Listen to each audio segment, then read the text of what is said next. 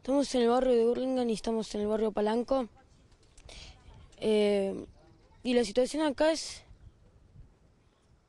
es impresionante, las enfermedades que tienen los chicos, eh, problemas respiratorios, y estaría bueno que cierren acá, que cierren, que hagan algo, porque no se puede vivir así.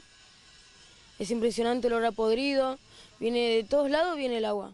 Mugre, lleno, vinieron la municipalidad de Morona, sacaron con un palito a, la, a correr la mugre y no se hace nada con eso. Toda esa montaña que está ahí, toda la mugre que sacaron del arroyo, lo pusieron ahí. Toda la mugre que sacaron del arroyo lo pusieron ahí. Es impresionante. Eh, no se puede vivir. Así no se puede vivir. El olor podrido es impresionante. No se puede dormir. Me pasa el basurero por acá. Estamos esperando que cierren acá y que hagan la calle. Luz falta. Esta calle que no que, que es de tierra. eh, falta luz. Sí. Eh, y muchos lugares. Mucha gente que está enferma. Mucha gente grande también que esto le hace mal. No se puede respirar. Yo creo que mucha gente hizo reclamo. Imagínate que vinieron a mover con un palito la, la muro para que se para que se lo lleve la- el agua.